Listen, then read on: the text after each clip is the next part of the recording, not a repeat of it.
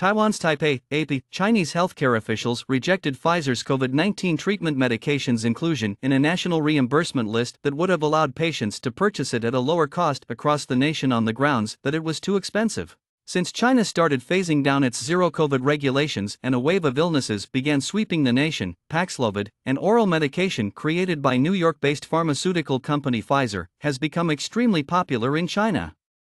Despite the fact that it must be prescribed by a medical expert, people have been rushing to get it on their own by whatever means available, including ordering generic Indian versions of the medication online, according to local media reports. Patients who have the financial means to do so can still take Paxlovid.